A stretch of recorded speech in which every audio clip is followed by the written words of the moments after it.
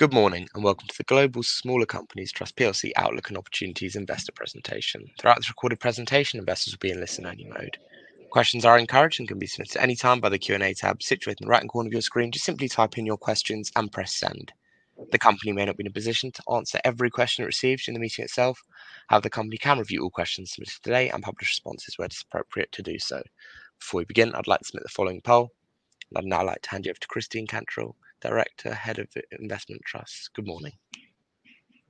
Good morning, everybody. Yes, I'm the Head of Investment Trust Sales, and uh, we're delighted to be here today. It's actually the first meeting that we've held on this platform since um, Peter Ewins announced his retirement. So it's with um, a heavy heart that we'll um, host today and hear his words of wisdom.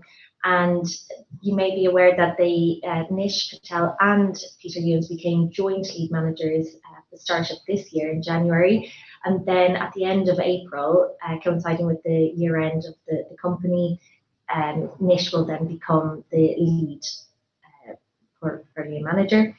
So um, we'll hear from both of them today, which is great. And obviously, the main point of this is going through an update of the portfolio, but then hearing from you and um, getting your questions that both managers will be able to answer.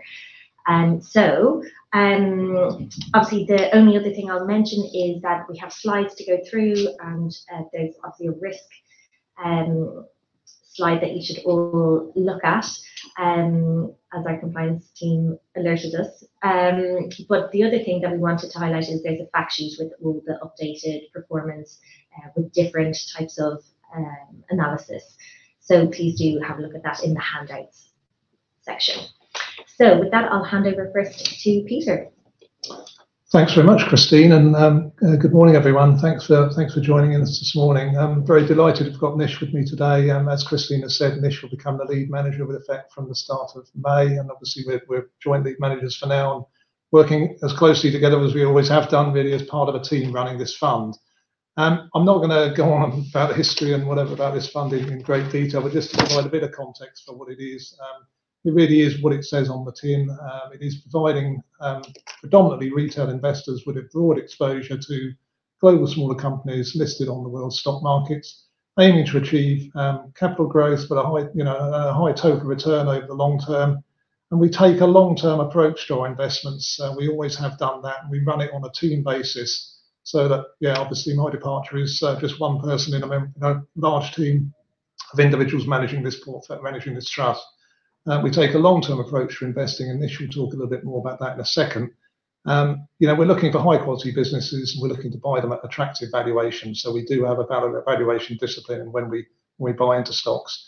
We've delivered strong long-term uh, performance over uh, in capital and income, and actually very proud of that 53 years of dividend growth um, that the fund has delivered over the years. Um, just looking on the right of this slide, you can see the benchmark, Uh, which is a blended benchmark of U.K. Um, and small and uh, global smaller companies in the proportions 20/80. Um, the U.K. weighting over the years has gone down in the benchmark and in our fund, but we we currently actually will come on to talk about it, but we're currently quite positive about the U.K. market in a global context.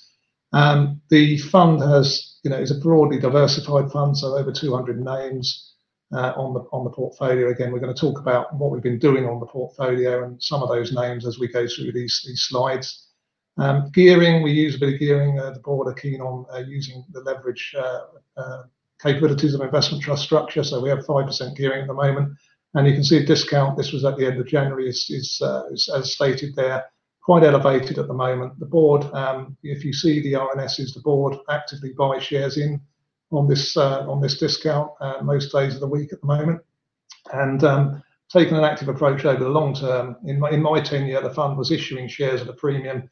It's now buying back shares at this discount and in the process enhancing NAV. I'm gonna hand on now to Nish, who's gonna talk a little bit about uh, how we look at um, picking stocks. Well, good morning, everyone. Um, I'm delighted to be able to talk to you. Um, as Peter said, the investment philosophy of the Global Smaller Companies Trust is to take a long-term conservative approach to buying good quality growing businesses when they become available at an attractive valuation. Um, we are bottom-up stock pickers. When we look at a business, we're very focused on the fundamentals. We're trying to assess the quality of the business model, um, the management team, the valuation, and where the risks are likely to come from. So, what is a good quality business? What does that mean to us? Well, First of all, we have to be able to fully understand the business and have a good idea of what the business might look like in 10 years' time, where the risks are likely to come from, and how to value the business. So that automatically rules out large parts of our invest our investable universe Uh, where we just don't know what the business uh, will do in the future. Most of the businesses that we invest in have really strong competitive advantages. So they might be low-cost producers of a product, or they might offer a differentiated product or service. Most of the companies that we invest in tend to have good returns, um, better than uh, peer group margins, um, and tend to consistently take market share from their competitors.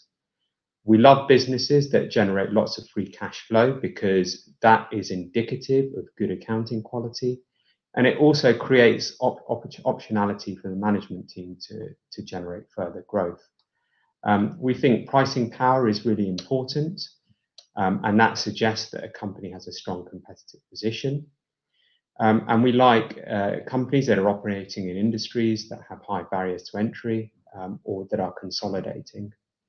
Um, we now live in a world where interest rates are above 5%, and so that means that companies that we invest in have to have strong um, balance sheets. Uh, so that is important at the moment.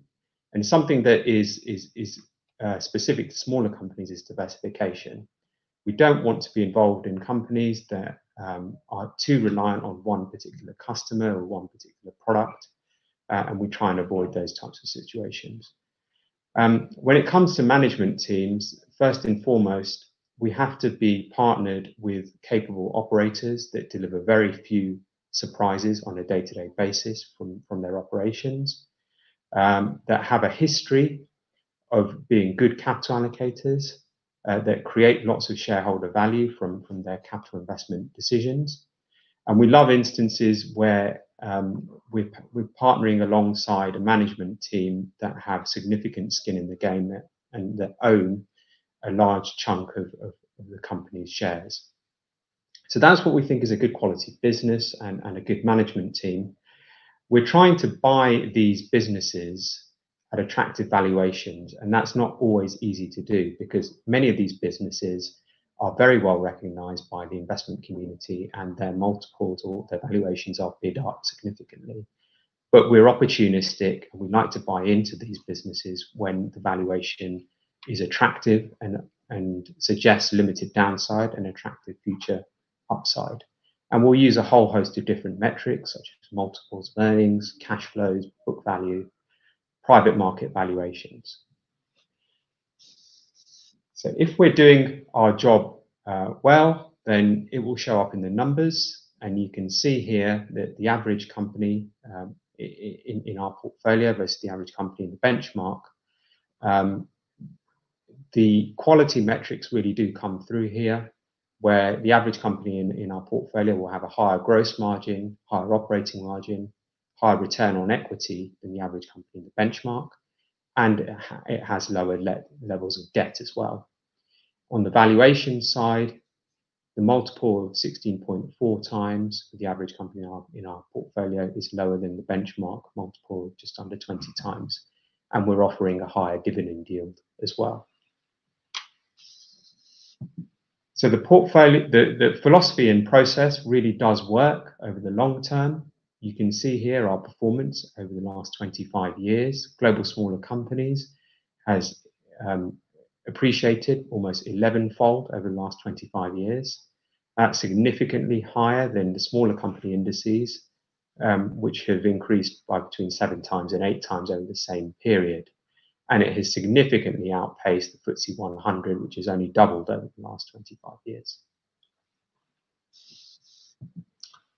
So if I could just talk you through where we're positioned, we can start talking about um, you know how we're positioned and what we've been doing on the portfolio, which I'm sure some of you are interested to hear about. This really shows the position at the end of January where we're positioned. So taking it from the left, you can see the geographic allocation The first thing to say about this really is that where a company is listed, you know, that, that's what defines where these uh, where these weightings come from. And you know, quite often it's, mislead, it's a misleading representation of the skew of the portfolio. So it says 25.1% in the UK, and that is 25.1% of the portfolio invested in UK listed companies. But a lot of those UK companies are, you know, very international in scope. So it's probably not as exposed to the UK economy if you're if you if you're thinking and worried about that.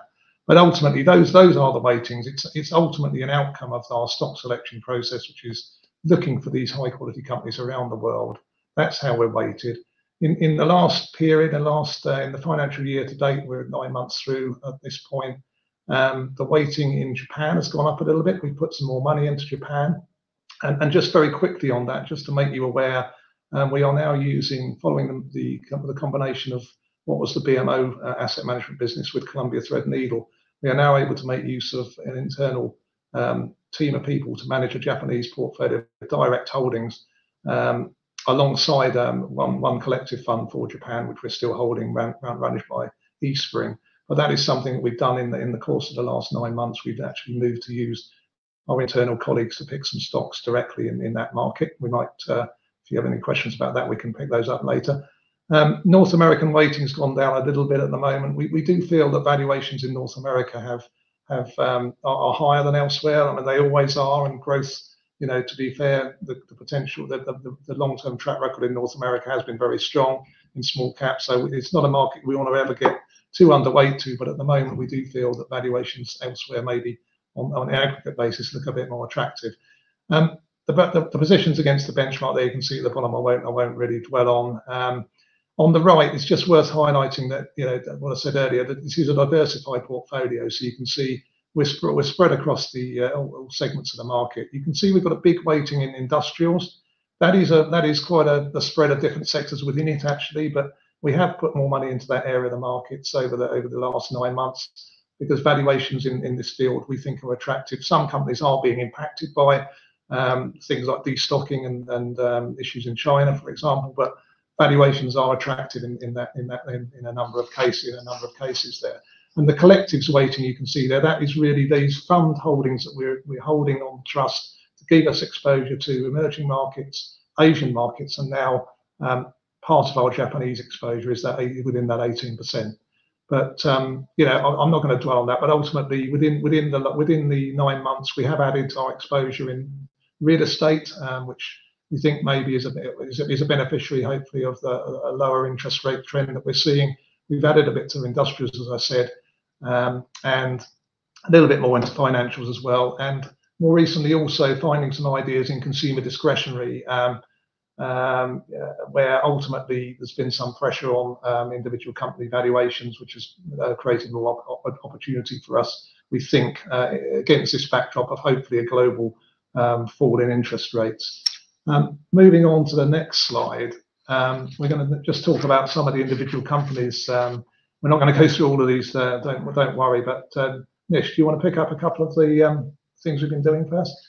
Yeah, sure. Um, so we have been active in a, in, in a whole host of different sectors, um, and we try to pull out some some common themes um, that, that highlight what we've been doing in terms of purchases over the last 12 months.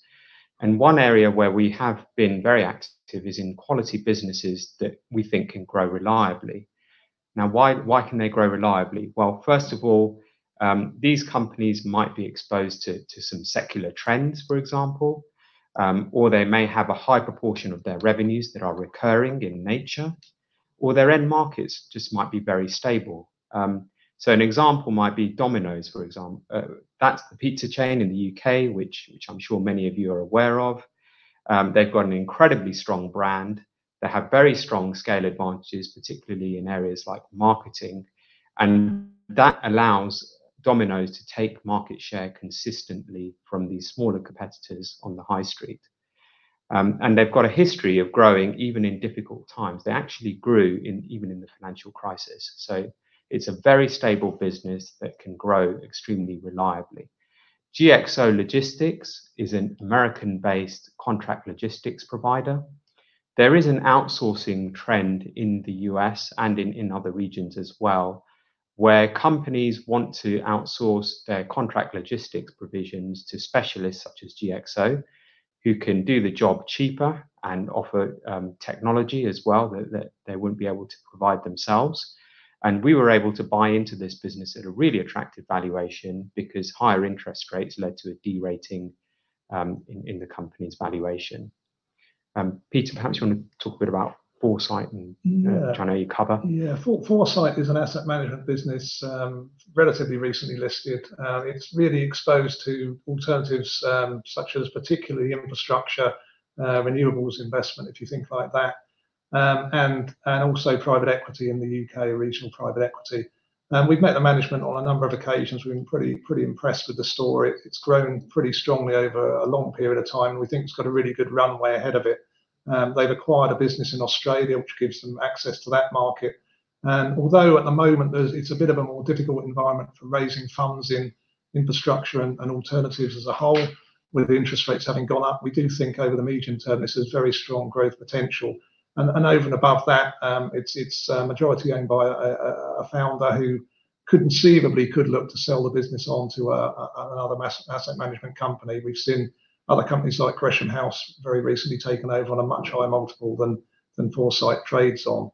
I think um, maybe we'll move down the bottom of the page, just talk about a couple of the cyclicals that we've added. So, you know, cyclicals by their nature do come in and out of favor, and stocks can get too depressed, we think.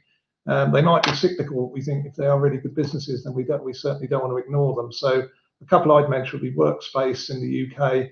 This is a um, provider of business space, not not offices really, for um, to the SME um, business community in London and the southeast of the U.K.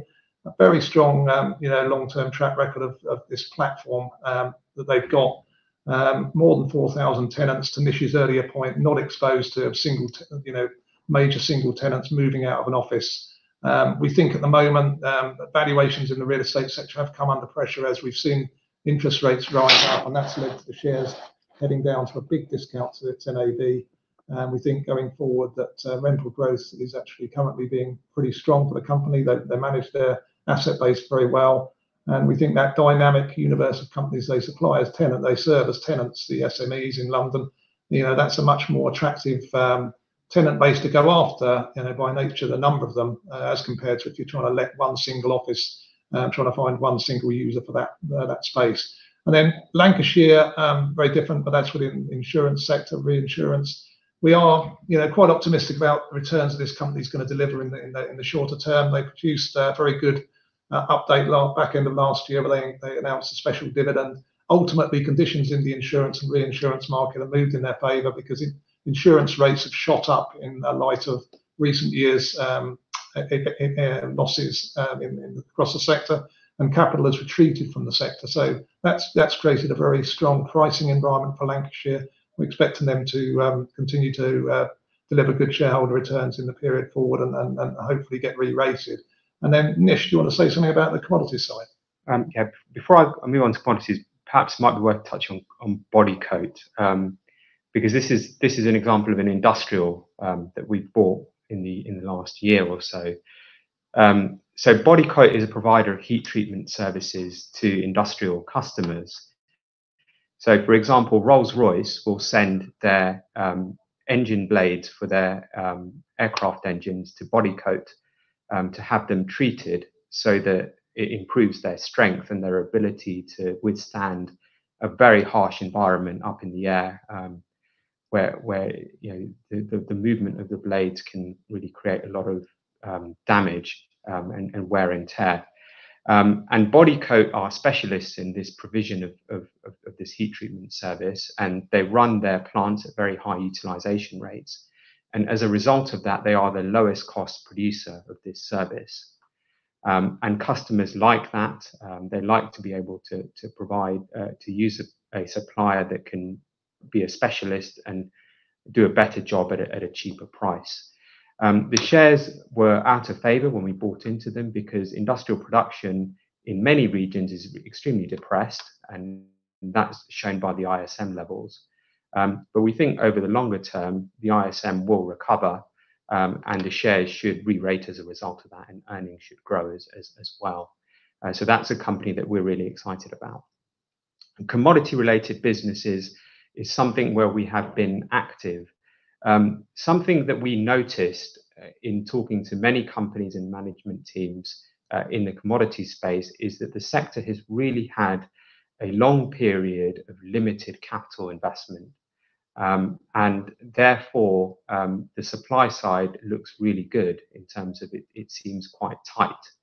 At the same time, the demand environment is improving for commodities because of investment in areas like infrastructure and electrification. So one company that we were uh, quite excited to buy into was Vitesse Energy. Um, this is an uh, owner um, of interests in several wells in the Williston Basin in the U.S. So they're not actually exploring um, for oil themselves. They have partners that do that for them, but they collect royalties as their partners will explore and produce oil. So it's a lower risk way of of um, gaining exposure to um, increasing activity in a shale in the U.S. Yeah. Obviously, uh, have to when we when we buy things, obviously it has to be funded now. Um, you know, um, I think we have to always hold our hands up, and we always try and show um, things do sometimes go wrong in smaller companies. And there on the left-hand side of the top here, you'll see a number of stocks that we've probably got uh, wrong. C&C and Sligro actually just uh, won't dwell on them, but ultimately they're exposed to the hospitality market in U.K., and uh, UK, Ireland and Europe. And both C&C and Sligro had Uh, their own issues, uh, operational issues um, and issues in terms of the market, the structure of the market. So those those were stocks that we we sold out of um, as we lost confidence in the investment thesis. We did benefit from a number of takeovers in the last uh, 12 months. So the Restaurant Group is the most recent one. That's the owner of Wagamama's in the U.K. Some of you will be familiar with. That was taken over, um, you know, only a couple of months ago. Um, Focus Financial, there was a North American uh, wealth management consolidation vehicle, which was itself consolidated. Um, I won't dwell on all these names, but ultimately at the bottom you can see a number of stocks where we felt that valuations had, um, you know, had reached a high level. Uh, so Lotus Bakery is an example there. They're a provider of biscuit. They own the Biscoff brand of uh, biscuit, which is doing really well, but the valuation of the stock Um, ran very hard, and so we uh, took profits in that. Um, and a number of those other names, Energean in the U.K. market, the Israeli faith-focused uh, oil and gas business, that that we also did well in, and we took profits in that. So I won't dwell on that. I think we probably wanna just uh, quickly show you a couple of slides on the individual stocks. But I think in the interest of time, we're not gonna dwell too long on these. But Nish, you wanna say a quick word about these, please? Um, yes. So we have bought into another industrial we've bought into in the in, in the year is MSC Industrial Direct, which is a distributor of products that go into the metalworking industry. Um, and they should continue to take market share from from smaller competitors because of scale advantages. Um, Workspace is one that Peter has mentioned. And Stabilus uh, in Europe, um, which is a motion control technology Uh, provider. Um, that A lot of their products go into cars, uh, for example. Um, so there would be motion technology to move the seats, um, and and to to to to move the doors and so on and so forth. More of their technology is going into cars, so sort of content per vehicle is growing. And as a result of that, the shares have got a good growth outlook. We wanted to talk a bit about valuations. So smaller companies in general um, have underperformed significantly relative to larger companies, and the valuations are really attractive. Um, if you look at them, uh, the table at the top, on the top, you can see in the American market, um, the smaller companies are trading on almost a 30% discount on some metrics relative to larger companies. The bottom chart is interesting. This is the difference in the P/E ratios between larger companies and smaller companies. And if you're below uh, the line there, smaller companies are cheap. And you can see that the relative uh, valuation to smaller companies is back towards the levels in 2000s. And after that period, there was a significant uh, um, time frame of outperformance of smaller companies that lasted almost six years. So we think that the opportunity is really um, uh, good at the moment in terms of valuations, and there could be a potential re-rating um, over a long period of time. And perhaps what might be the catalyst for that? Because this is really well known. However, uh, many investors are questioning, well, what's gonna cause that to mean revert? Well, we think one thing that's potentially on the horizon is the first interest rate cut. Now, the consensus seems to be that there may be the first interest rate cut from the Federal Reserve sometime in the late late part of the first half of of this year, sort of May, June timeframe. Um, although those probabilities are changing on a daily basis. Uh, but what happens after the first interest rate cut is that smaller companies tend to outperform. In the first 12 months after the first interest rate cut, history suggests that the outperformance could be anywhere, could be in excess of 10% relative to larger companies. So we are um, quite excited that there is a catalyst on the horizon for smaller companies to come back into favor. And then, if we question why smaller companies have underperformed, I think part of the reason is that there's been a lot of fear about recession. And generally, in the past, what's happened is that smaller companies have underperformed whenever there's been fear of recession, and then they have outperformed coming out of the recession. And interestingly, during the recession itself, smaller companies have actually been quite resilient. So if you look at the last um, six recessions in the U.S., for example, you can see the Russell 2000 um, during the recession itself, Uh, the shares, the smaller companies fell by 4%, but the larger companies, as represented by the S&P 500, fell by more. They fell by almost 6%. But then coming out of the recession, smaller companies outperformed significantly, with the Russell 2000 outperforming the S&P 500 by almost 10 percentage points.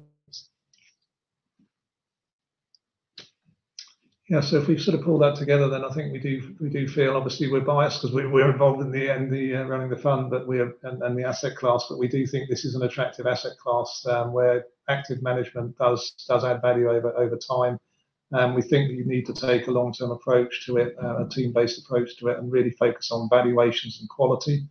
Um, got a good, well-resourced team, um, Uh, as I discussed earlier, obviously making further use of people within the enlarged Columbia Threadneedle Asset Management team, and that, you know, that I'm sure will continue under Nish's tenure going forward. And you know, the fund's delivered good returns for investors over over the long term. I think I think on that on that sort of note, I'll hand it back to uh, Christine or Alessandro. Thanks very much.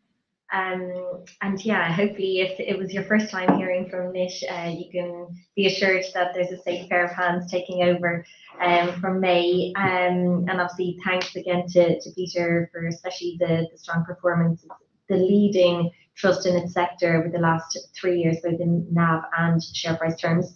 And we have had lots of questions, so I'm really glad about that, but please keep submitting them, and so we'll try to get to as many as possible. Um, actually, in regards to and if he's an unfamiliar face to some people, um, there's been one question about, Nish, can you talk about your background and what your involvement has been with the Global Smaller Companies Trust till now? Yeah, sure. So I've actually been involved with the Global Smaller Companies Trust since 2008. And my first involvement with the trust was on the on the U.S. portfolio, Uh, which is the largest part of the trust at over 40%, and then with the U.K. portfolio, um, and later on with the collectives. Um, I've been reporting to the board of the trust since 2013. Um, so I do have detailed knowledge of the investments that we hold within the trust.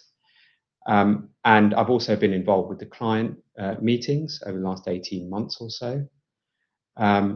And uh, you know, uh, managing the discount and the cash flows and and all of the other um, nuances of an investment company. So I have a lot of experience with the investment side, um, and the administrative side. So that gives you a sense that there will be an element of continuity. But at the same time, I can offer different perspectives um, that could potentially improve the proposition even more than it already is. Um, there'll naturally be a a period of transition. Um, Peter's here till the end of June. Um, so we will work together closely uh, to make sure that the transition uh, will be handled very smoothly. Thanks, Nish. I'll jump in again with a kind of similar question. What do you think will stay the same, and what do you think will change after April when you uh, take over as lead? Um, I think the things that will stay the same, well, the team is largely um, the same. So there is a lot of experience in this team. There's over 100 years of investment experience. We've been through several market cycles. Um, we've been through pandemics, wars, elections, some stock market bubbles. So there is a lot of investment experience here, and we're happy that the team is largely intact. We will focus on long-term investing, and I think that's really important in a market environment that is becoming increasingly short-term. Being long-term, we think is a competitive advantage. Um, we've always run the trust in a conservative way, uh, and focused on minimizing risk. And, and we do that by focusing on good quality businesses and paying attractive valuations for them. We think that that's an evergreen Um, factor in investment success, so we would like to for that to continue. Um, a dividend is important. The the his the history of the trust is that the dividend has grown for 53 years consecutively, and we want to continue that track record. We are very proactive in managing the discount as well. We think that's really important. So that's something that I think will continue. Um, what will change? BMO's um, asset management business was acquired by Columbia Threadneedle in 2021. Um, we co-located together in 2023. Um, and What we realized is that Columbia Threadneedle are very intense when it comes to research, and they invest a lot of resources into research. And we wanted to we we realized that there were lots of people that that we could um, talk to, um, and we could gain ideas from, um, and we're looking to harness this. So last year, after a long period of deliberation, we decided to insource 50% of our holdings in Japan, which we were previously using collectives for, to our Japanese team at Columbia Threadneedle, who have a really good process that's very similar to the way that we manage money in other parts of the trust, um, and that have a track record in Japanese equities uh, in general. And we're pleased with how far that's going, and we will review that. Um, we'll investigate if there are other opportunities to do something similar uh, to make use of our wider resource base. Um, it isn't a secret that the trust pressure is extremely out of favor. Uh, the trust sector generally is is out of favor, um, and small caps in particular. Um, so we think it's a good time to look at the asset class because it is undervalued. It does well um, after the first interest rate cut, and it will do well as economic growth potentially picks up. So we want to go out and market the fund more, to to tell people about the potential opportunity, and we think that will be helpful in potentially closing the discount as well. Yeah. Uh, at the last close, was uh, close to 16% discount, so definitely good value there. Um, I'll read out a question, and it does pick up on one of your points in relation to the stocks that you were going through, Vikesh. Um, I'm interested in future sustainability and wonder in particular how exposed you are to fossil fuel industry, including large banks and insurance companies that directly support them. Also, do you have a sustainability filter to ensure you invest in ethical companies? Um, yeah, good questions. Um, I mean, ultimately, this is not an ESG uh, badged fund, but we've always um, made a point in the annual report of communicating how we how we how we think about ESG issues and sustainability. Uh, and you can see some case studies and stuff in in that talks to that. We do have exposure in the fossil fuel uh, sector, as Nish has sort of uh, identified. It's a relatively small part of the trust, the whole energy um, investment um, side. To be honest with you, over my tenure as manager, you know, it's not tended to be a great place to make money in the small cap market. Ultimately, the big, the very big fossil fuel companies that you all know of Um, are the ones that make a lot of the money, and the smaller cap ones can be quite risky. So it is an area that we've we've tended to you know be uh, be skeptical of um, over the long term. But to Nish's comments, I think at the moment, there are certainly some attractive opportunities in the space at the moment, which we don't want to ignore. Um, Christine, the other point that you were making there, I'm just trying to. Yeah, like how you manage. Oh, the banks and the insurance. So I mean, we're not, obviously, we don't invest in the large cap banks. We do have exposure in, we tend to have exposure to more niche banks. So in the U.K. context, companies that Nish follows really called uh, One Savings Bank, um, Paragon, those sort of businesses that um, lend to, um, particularly to the buy-to-let market in the U.K. They're not really uh, lending all that much money, I don't think, to the fossil fuel sector. But uh, do you want to say anything else on that, Nish? So we do, this, as Peter mentioned, we're not ESG screened, but we do think that Um, assessing ESG risks and opportunities is an important part of assessing a business model in general because the culture of a business um, has to be so that most of the stakeholders are satisfied um, for the business to be successful over the long term. So we do pay attention to ESG risks and opportunities, but it is not an ESG screened funding uh, per se. When it comes to banks and energy, most of our banks are actually specialist lenders that are more commercial banks um, that would, uh, for example, um, lend to to to landlords that are looking to build property portfolios. Um, we do not have any specialist lenders that will have a high concentration to the energy industry. And if I can add, just as a firm, as a whole, Columbia Threadneedle Investments rate our research intensity, as the guys mentioned, but also the responsible investment heritage that we've had, particularly coming from the BMO side. Um, so It is that sense of that ESG integration into all the research of any stock that the portfolio managers are reviewing. And That is very important and quite a unique selling point for us as a house.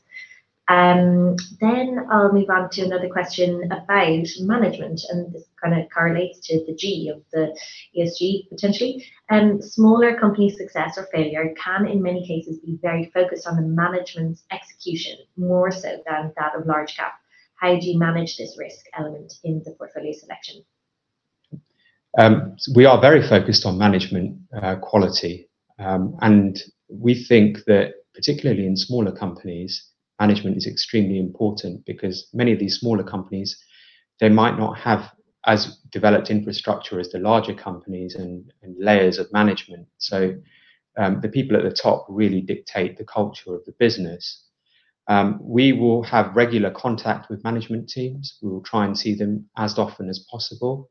The team as a whole is very involved with company meetings. Um, as a team, we do something like in excess of 500 meetings a year with management teams across all all the individuals. Um, we will ask questions about uh, the prospects for the business and any potential risks that we have identified.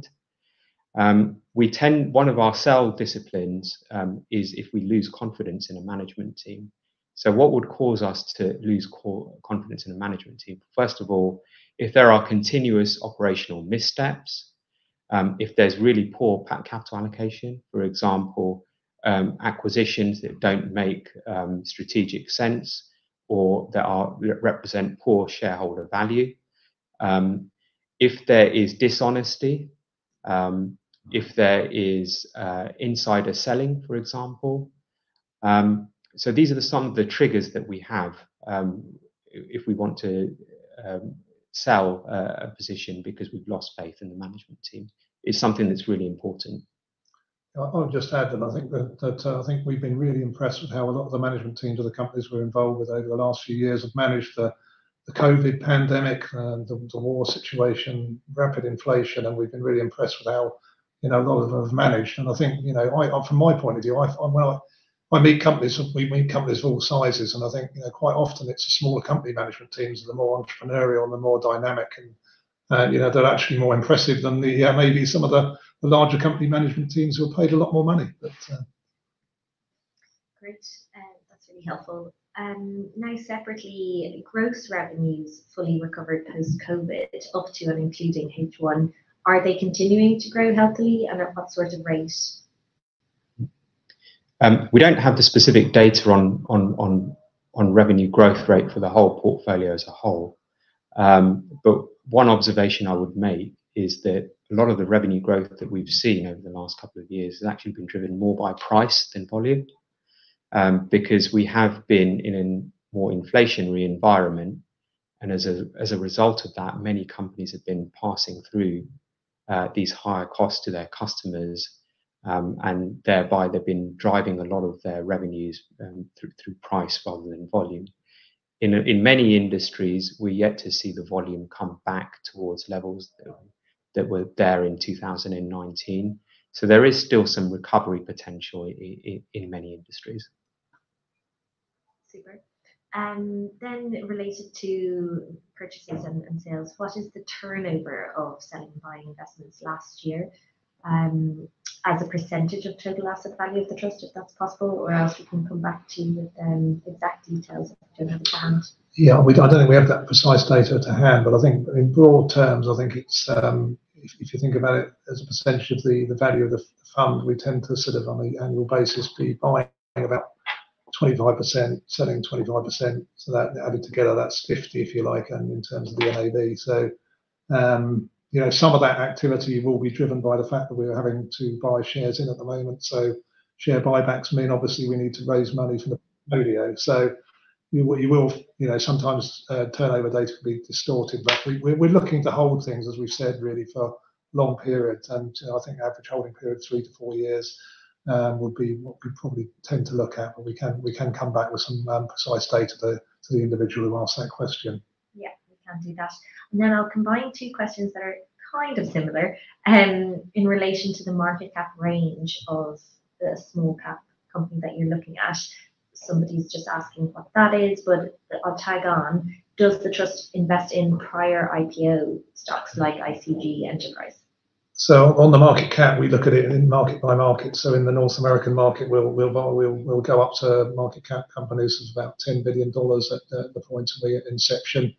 That may seem like a very big company, but ultimately in a U.K. sense it is. But in the North American market, that's actually not a very big company. So um, we've tended to find that um, companies uh, $5 billion-$10 billion market cap range tend to do pretty well uh, in the North American market if they've got a good model.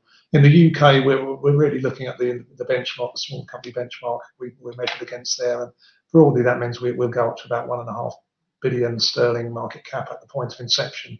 Now, if we if we buy a stock and it does really well and it goes through that sort of cutoff, then we don't immediately sell it. If we think the prospects are still good, then we'll continue to run that position. I think most of our a lot of our long-term holdings have been things that have grown, you know, over a long period of time that we've just we've just held on to. Um, I think Brown & Brown is an example that Nish uh, was uh, familiar with in North America that bought a number of years ago an insurance broking business. And I was talking to him the other day about, is it getting a bit expensive now? And Nish just said, "Well, you know, just it's a compounder. It steadily grows and, you know, don't don't don't panic and sell out of it now." Um, so you know, I think we need to be conscious that this is a smaller companies trust, and we don't want people to be owning mega cap companies. We don't want to be holding a load of mega cap companies within it. But if we've got companies that are still on a good growth trajectory, then we want to run our winners. Nish, do you want to add anything that? I think that's true, Peter, that what we've found or our observation has been that a small number of companies will drive the majority of the return of the market over the long term. Um, and if we're in a happy situation where we've found one of these long-term businesses, long-term growers that can generate high returns on capital, and that has a large run, long runway of reinvestment opportunities, we want to hold on to these businesses, provided the valuations don't become egregious. And pre-IPO stocks? We don't do pre-IPOs. I mean, um, this fund we we have held in, but we have investments. Well, actually, we have I have an investment actually in a company called Mercia Asset Management, which is on the U.K. portfolio. And they they are a specialist uh, investor in venture capital, private equity in the U.K. regions. Um, And you know, a little bit like Foresight I mentioned earlier. I mean, Foresight are involved. Foresight are involved in, in private equity investing. Um, so we get exposure to that through our investments with them, but we're not going to go out and try and do that ourselves because it, it's another skill set. Um, you need a you need a dedicated team. Um, you know, crawling all over early stage companies really if you're going to do it successfully, and that's really not our not our skill set. But we're happy to invest in the space indirectly through really good managed, well managed businesses. Yeah, that makes sense.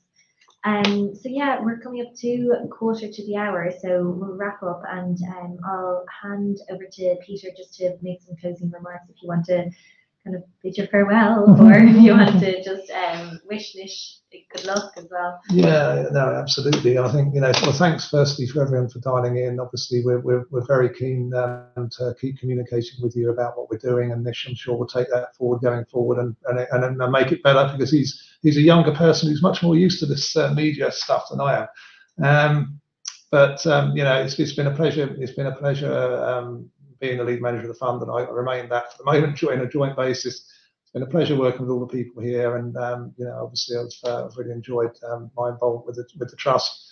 Um, I remain a big, I remain an investor in the fund uh, myself, um, and look forward to you know seeing it thrive in the future. But you know, I think just to really just to wish wish Nish, as uh, Christine said, all the best in, in in the future with it. But I think you know the, the great thing is it's an attractive asset class, and you know we do think that there's opportunity in uh, investing in smaller companies that you you don't get in some of these very boring uh, large companies uh, that, uh, that are on the market. We do think it's, it's fundamentally an attractive investment universe to pick stocks from. So, you know, I think hopefully it can uh, can continue to do well, but obviously we can't make any predictions about what's going to happen in the future.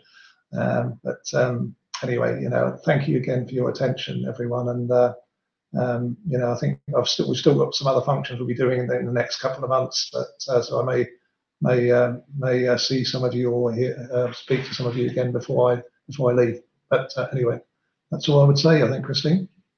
Perfect. Peter, Nish, Christine, thank you very much for updating investors today. Could I please ask investors not to close this session as you'll now be automatically redirected to provide your feedback in order that the management team can better understand your views and expectations. This will only take a few moments to complete, but I'm sure will be greatly valued by the company. On behalf of the management team of the Global Smaller Companies Trust plc, we'd like to thank you for attending today's presentation and good morning to you all.